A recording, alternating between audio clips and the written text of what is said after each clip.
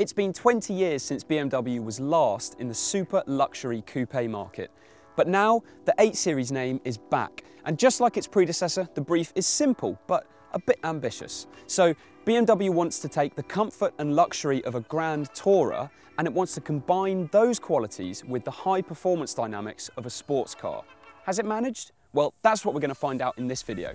And remember, if you want to buy an 8 Series or any other new car, head to whatcar.com and look at the new car buying section while you're there, and hopefully we can save you a lot of money in the process. Now, cars like this have to impress as much inside as they do on the road.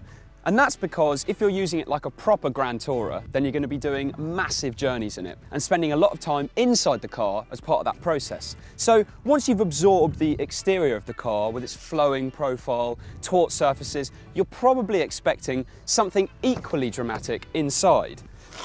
Instead, what you're met with inside is actually an interior that only feels a bit like a plusher 5 Series.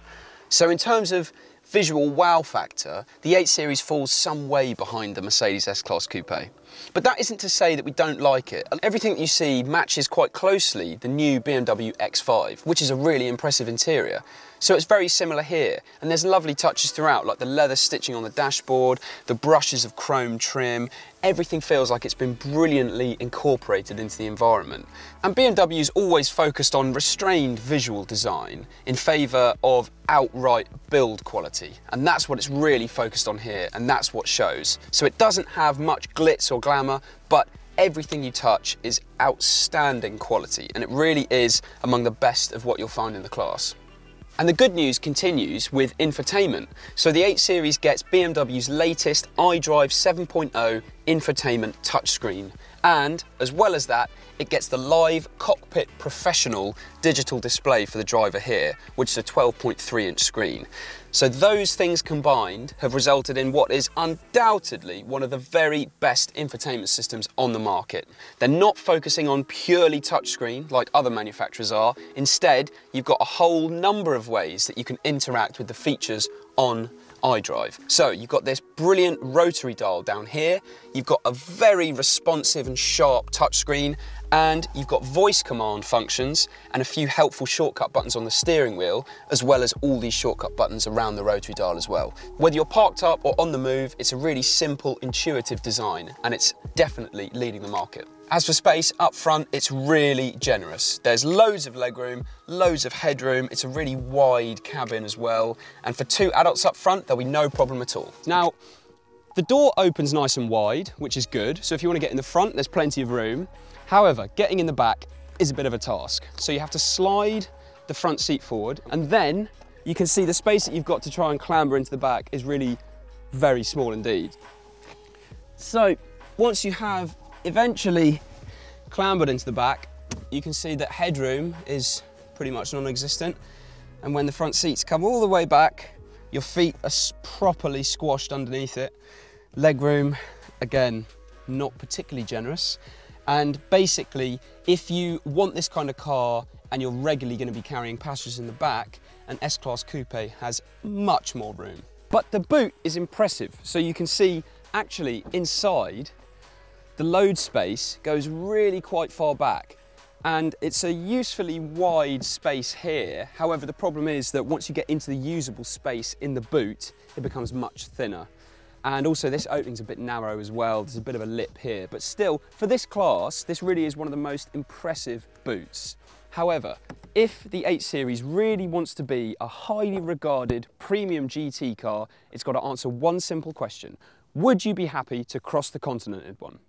Well, there's plenty of competition in that department. You've got the Aston Martin DB11 and the Bentley Continental GT if you want super luxurious mile-munching coupes with big price tags. And then below them, in terms of price anyway, you've got the Mercedes S-Class Coupe. And then you've got the BMW 8 Series. Now, it might be a bit of a stretch to call this a cheap car, considering the starting price is around £80,000, but we'll explain in more detail later that actually this is pretty good value compared to those rivals. But what's it like to drive? Well, the first thing that you notice when you get in is actually how the car seems to kind of shrink around you. Now that's in part thanks to its brilliant driving position, that offers great visibility and nice seats that hug you in as well. But that's also because of how agile it feels. Now the reasons for that are it gets all-wheel steering as standard and it gets a limited slip differential on the rear axle to boost traction. So thanks to those small things, actually, it makes this near two ton car feel pretty agile. But it's the steering that does let the side down a little bit. It just doesn't really offer the feedback that you want from a car like this. So it doesn't really let you know what's going on between the front tyres and the road. So it might not be the best of the best, but if you do a massive journey in the 8 Series, you will still be pretty entertained by its handling. But will you be comfortable as well? Well, the truth be told is that the ride is on the firm side. And part of the reason for that is probably because of the fact that BMW has chosen steel springs for its suspension rather than air suspension. And the thinking behind that is that steel springs are traditionally the sportier choice. Don't get us wrong, this absolutely isn't a bone shaker, but it's just that the ride isn't a strength of the car. But the 8 Series does have an impressive selection of engines. Kicking off the range, you've got the xDrive 840D, which is a six-cylinder diesel engine.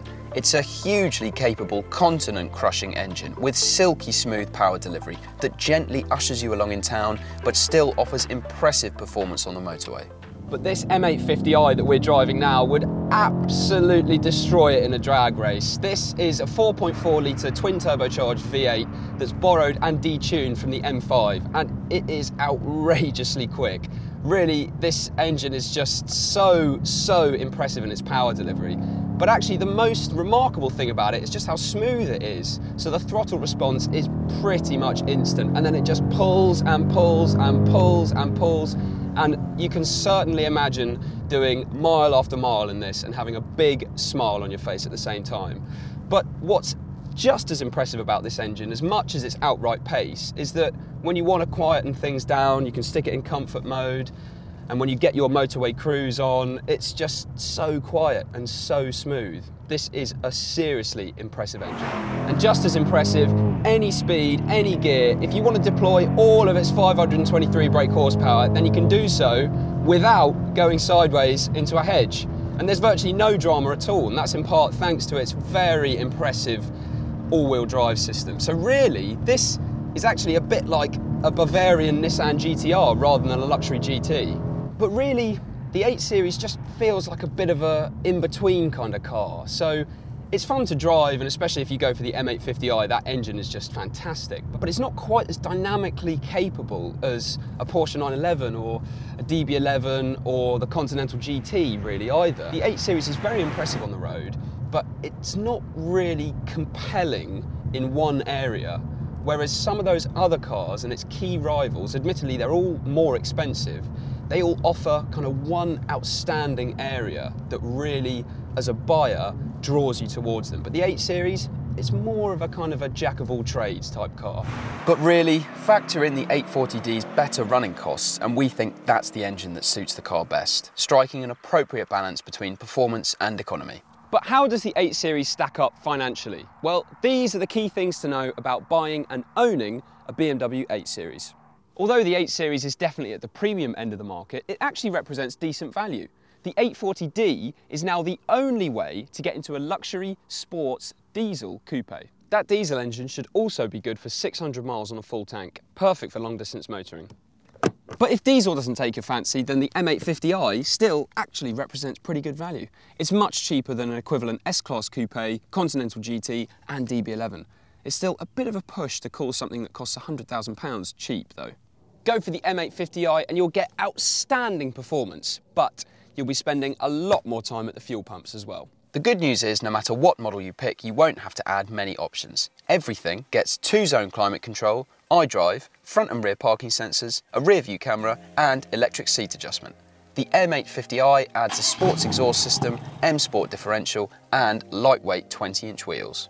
So pick an 840D and you're essentially picking a car in a class of its own. A diesel luxury sports coupe that offers flexible real-world performance, is pretty cheap to run and gives you big miles in between fill-ups. The M850i is a bit more of a mixed bag, so it's not quite as refined as a Mercedes S560 Coupe, nor is it as sharp to drive as an Aston Martin DB11.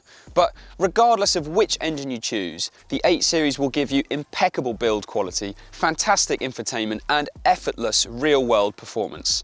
For much more on the 8 Series, including our extended written review of it and all of its key rivals, head to whatcar.com.